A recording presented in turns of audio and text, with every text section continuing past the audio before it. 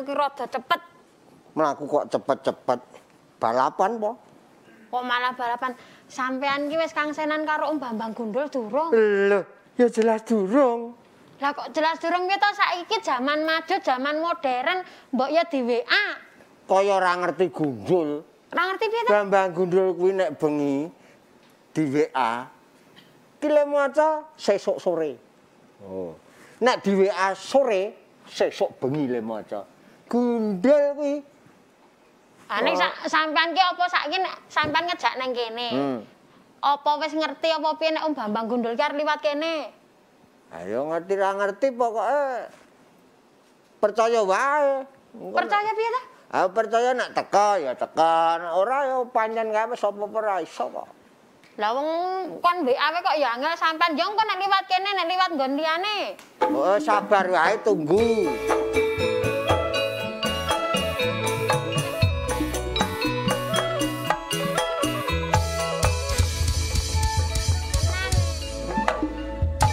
Kowe jare goleki aku arek ngejak gelet to ki. Ora dawa kowe rambute ndul. Piye ana masalah apa? Kok malah kaya wong nantang yo. Rupane rungkut. Kaya alas roban. Saiki pung-pung ketemu gek ndang ngomong, Apa? gek gek payu. Ini ndul Bambang, Ya, piye aku siapa ki? aku kira kepengen ketemu kowe. Ayo. Lah mergane aku ketemu kowe kuwi, Heeh. Jum jelaske. Piye to sampean ki? Iki lho Om. Asuh-asuh gila ya aku. Om Seono ki arep titip nek sampean ning Samsat memperpanjang STNK-ne Om Seono. Ora. Walah. Titip-titip ora iso ora model aku titip-titip ngono kuwi kok. Piye? Ngurus ya ngurus dhewe, saya ana teknologi kok. Dadak titip-titip sore ya. Eh, lah sampean kira ngerti po Om?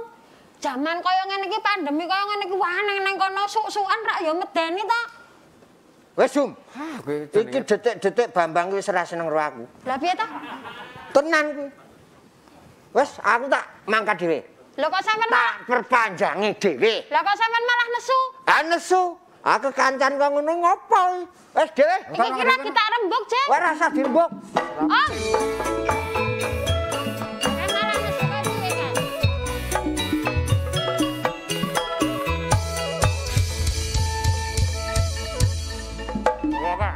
Saudara yang penting. Ya. Mas niki wae baratan masalah nih kanca kula ajeng titip sing jenenge perpanjangan STNK. Nek teng Samsan niku tesih uyu Monggo monggo, Pak. Wah, Ben gak asik betul kok iki. pun mboten sah digawake polisi kula ora dodol kok kula iki. Ora arep kan utang nggonmu iki ora. Oh, lah piye? Kayake dudu polisi ki Robocop. Hah? Robocop awake. Tak pikir arep nganu warungku wong aku ya wis tutup lho, Om. Ora ora. Piye kenapa ki? Nggih, Mas Bambang. Ya yang dulu kan yang namanya nek ngurus kendaraan ki wis bayangke wah kok nang kono iki mumpet. Wong kowe Jabatan seneng kono sampeyan banget. nek ngurus iki. Dan sekarang kan pandemi, Pak. Ya, Ada jaminan nggak ketika nanti kita ke Samsat sana? Kulon Progo selama pandemi ini Iya.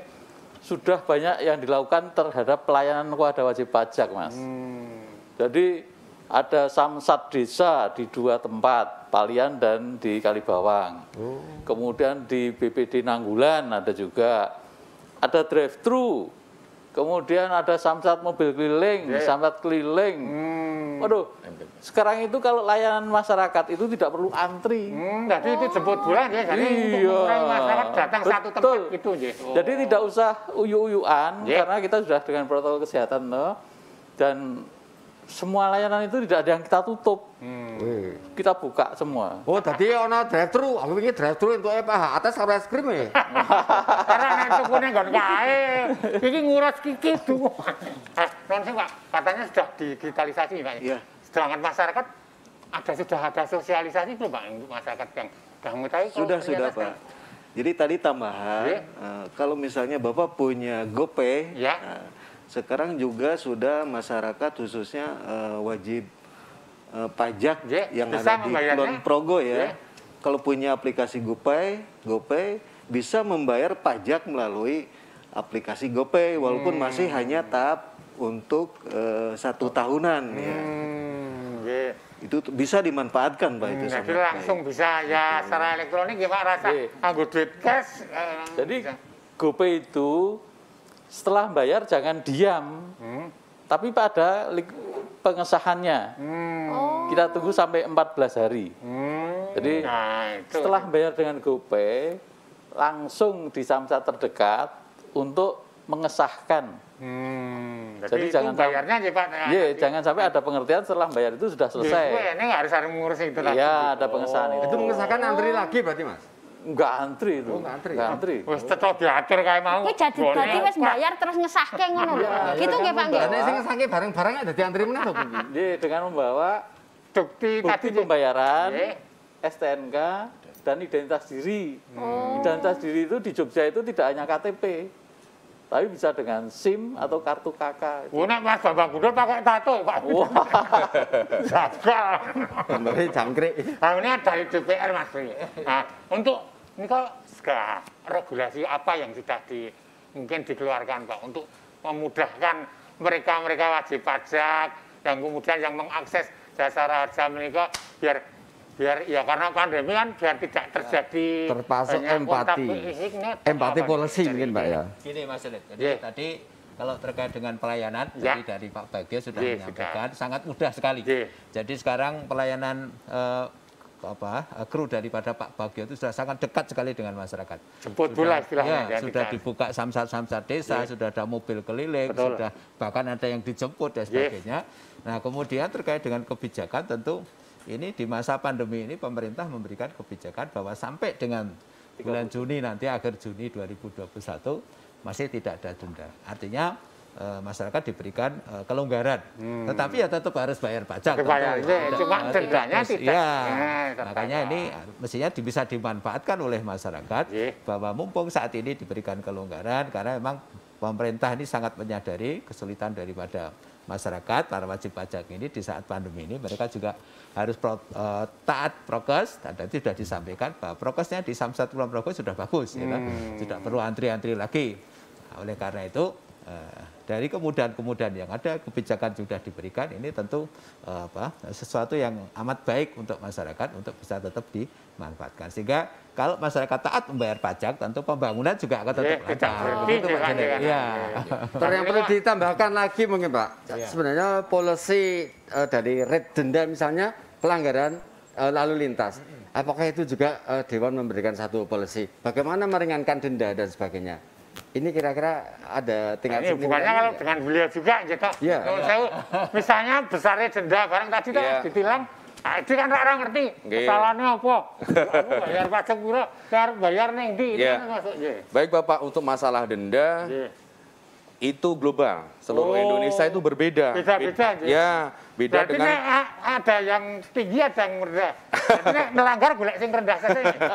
Bukan bukan seperti itu. Maksudnya di kota besar sama yang di wilayah berbeda. Katakanlah di Oh, di lain, Jakarta ya, beda dengan di Jogja. Kalau di, di Jakarta bisa dikenakan denda maksimal. Katakanlah pelanggaran denda rambu-rambu itu dendanya 500 ribu. Di Jakarta bisa diterapkan sampai seperti diterapkan, itu. iya. Tapi kalau di Jogja kan nggak bisa. Nanti Kalau bisa sing manut Iya. ya,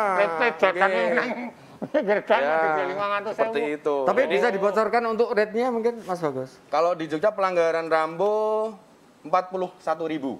Oke, seperti itu. Jadi tidak dikenakan itu, denda flat. maksimal. Oke. Flat itu ya? Ya, Maksudnya untuk ini, pengadilan untuk waktu sidang, untuk handphone Dubete sama. Ya.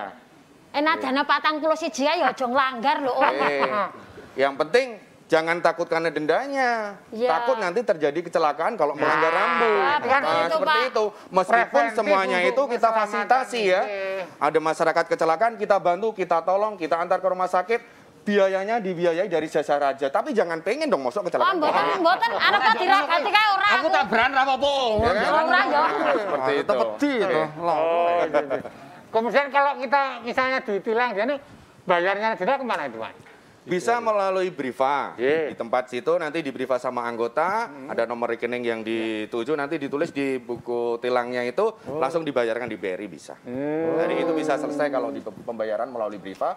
Kalau saat itu tidak punya uang tunai atau tidak membawa ATM, bisa di langsung di. Gesek juga bisa. Nah, Oh, iya. nah ini tetap anu dulu, tetap lenggah di sini dulu. Iya. Ya, toh. Karena nanti nunggu si jenenge sehono barang ini nek didongke awak itu angel.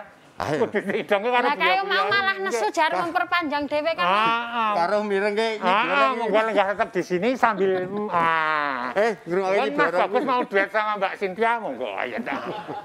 Ayo Mbak Cynthia ayo.